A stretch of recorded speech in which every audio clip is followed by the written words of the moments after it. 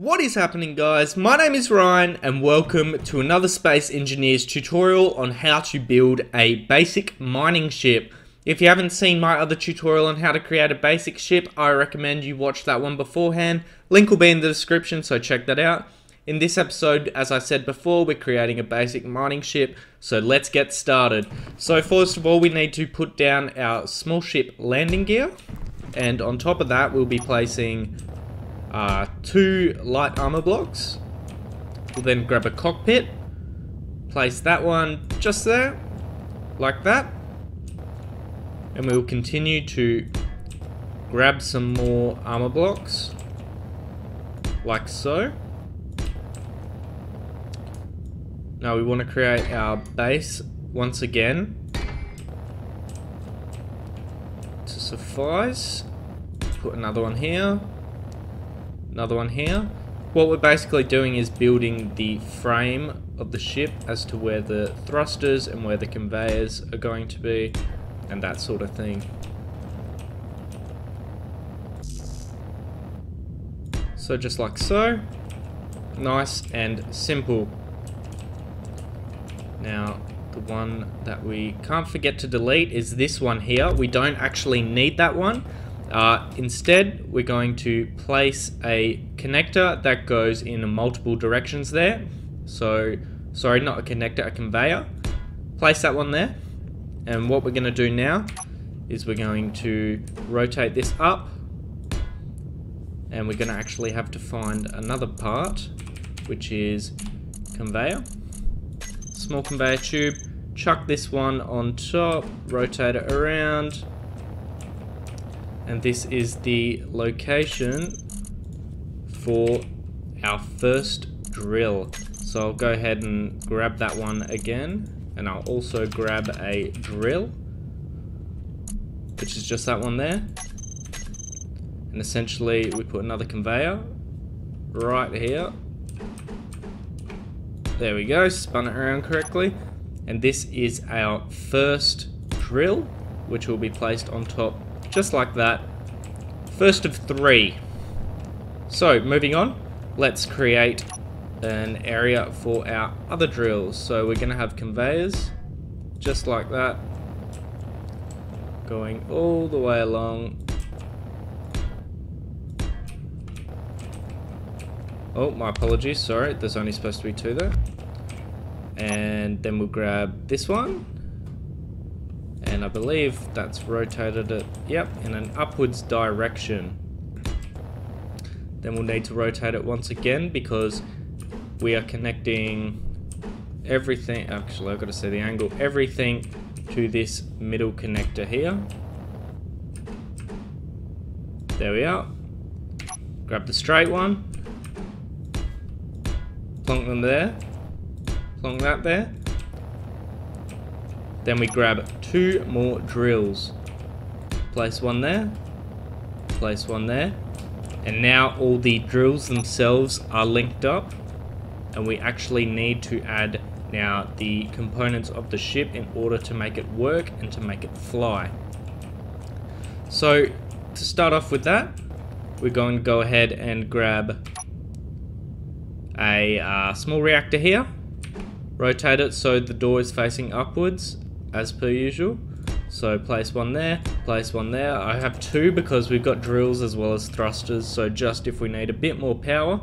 Then also what we're going to grab is a small storage container, a small cargo container, sorry.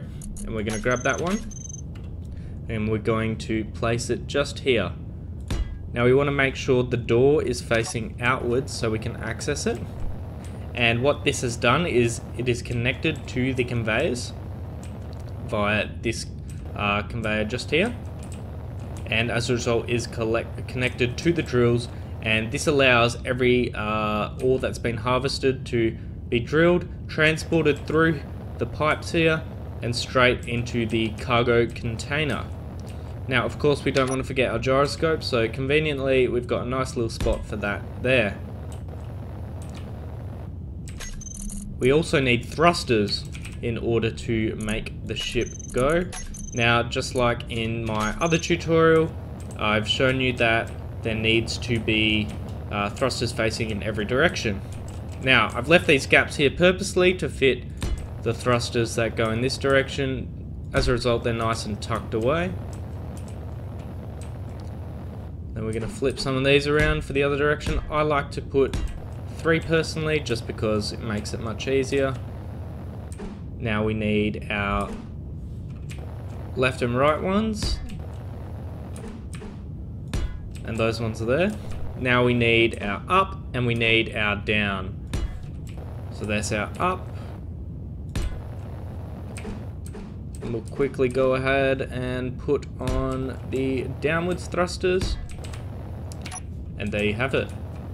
A very, very basic ship that can be easily used to mine all sorts of rocks much quicker than your hand drill that you normally use. So it's extremely efficient. So let's go ahead and test this one out. Oh, actually, just beforehand, uh, this little bit here, I also like to sometimes put a light on the front of it. That way, once you've dug, say, into a deep tunnel, uh, there is some light that has been provided for you to see. So let's jump in. Let's turn the light off as we don't need that now. And before uh, we actually proceed, we need to go and grab uh, essentially the tool in our toolbar. So we go ahead and press G, go to weapons and tools, grab the drill. And what this allows us to do is press 1 and it, we treat it like any other sort of uh, first person drill or gun etc. So if you just hold down your left mouse button these will turn around and if you let go they'll stop. Now beforehand we always need to press P to disengage the landing gear and then we're safe to take off. And now I'll demonstrate the way in which uh, this mining ship actually works. So you don't want to absolutely plow in, but as you can see, if I spin these around, collect all the ore, as you can see from another angle here, it works quite efficiently. Mining all the ore, and then what you'll see if you go ahead and press I is that normally uh, it would stain the drills, but because we've got the conveyors, the stone has actually moved itself to the small cargo containers, and in that way we can uh, manage our storage much more easy. And it's also worth noting the lights, as you can see on the conveyor, uh, they're now a yellowy sort of color. Originally they were red and that's because they weren't powered. You need to ensure they're powered and attached to something for them to work. There we are. A nice little mining ship. Easy to use. Easy to build. If you're in survival mode this doesn't require too many resources. So it's a very good starting type ship. This is very very basic. And I hope you guys enjoyed the video. If you did, please leave a like and subscribe if you want more. And as always, I'll see you guys next time.